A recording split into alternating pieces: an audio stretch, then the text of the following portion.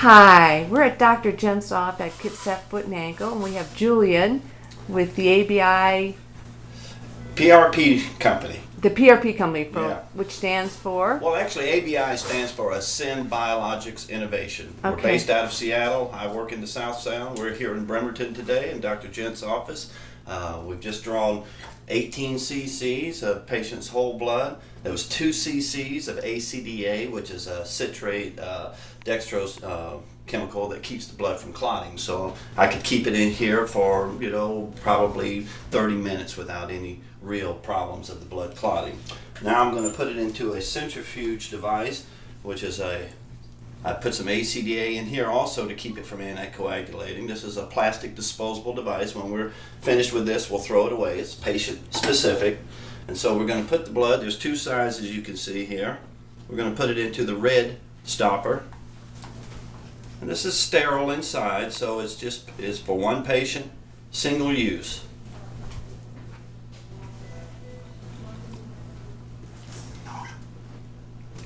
And so I put the white tip toward the front. I have a counterweight here of approximately the same weight as this. If I was using a larger one, I'd use a larger counterweight to get balance for the centrifuge. Close the lid, start, and you'll see a 14 comes on there immediately. That means we have 14 minutes to spend. Okay. We'll see you in a minute or two, or 14.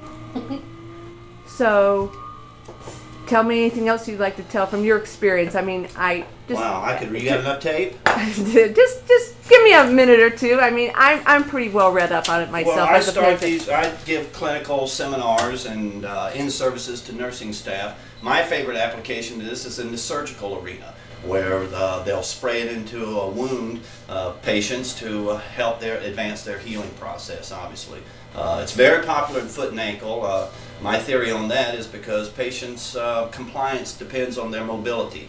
And if they can get up and moving uh, faster, they're, they're going to. And, uh, and sometimes foot and ankle patients have a very short window for a response to happen. It's the, it's the furthest from the heart, so it's an area of low vascularity, so it needs as much help in healing. Um, and that's, I think they have been on the forefront of this technology. Craniomaxillofacial to make bone in the jaw is another uh, advancing technology for this, mostly because the, the surgeons get paid whenever they make bone in there, and if they can do it faster, then uh, they'll do so. It's been very popular in sports medicine, uh, mostly in athletes that make a lot of money or either cash paying patients because the insurance companies, for some reason, haven't come around to the understanding that you can actually uh, make a difference with patients' healing uh, and even go, uh, prevent them from going to surgery. Uh, a lot of times with uh, repairing tendons percutaneously, putting these platelets in there.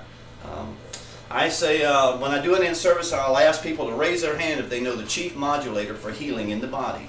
And no one raises their hands. This is a lot of clinical people. And I ask them to go out and ask their surgeon at the scrub sink if they know the chief modulator of healing in the body. And then I'll say, well, do you know what ha- platelets are? And then they'll say, oh yeah, they're, they're these um, proteins in, in blood that will uh, uh, start clotting and, and stop blood from bleeding. Well, I was gonna say I'm not. I don't have a medical background, but certainly I would say life is in the blood. Well, that's true. And I, my limited amount of research, um, it just bears witness with me, you know, spirit, soul, and body, because I'm a, a Christian woman and I do a lot of praying, and I believe in giving the body the best natural healing things that you can give it, and you know, and Well, if you'll get a close up here, it says autologous biologics. And autologous means from your body back to your body. So that's what we promote is using your own uh, blood components to, to, uh, to help your body. You're right, there's nothing's going to heal your body better. But that's what these platelets do. They gravitate to the site, they stimulate histamine to cause inflammation. And surgeons like inflammatory response. They know you're healing if it's, it's swelling Right. up. Um, and then at that point, under this tension, under this compression of the swelling, they release the growth factors that signal phagocytes to eat the dead tissue and stem cells to regenerate and lay down new tissue. And that happens in whether you're hit extrinsically or, or hit intrinsically.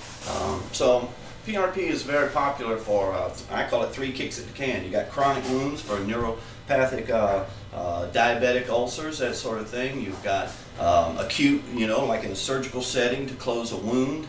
and uh, and then percutaneous for injections, uh, which you're going to have today. Yeah, um, I'm having it in. Well, Dr. Will have to specifically tell me where and how, but it's going to be generally in my around my left distal my my ankle because I've had such ligament laxity, and then I had a chronic high ankle sprain, and that's why he did surgery. And um, so we'll we'll just get back to this here in a few more minutes.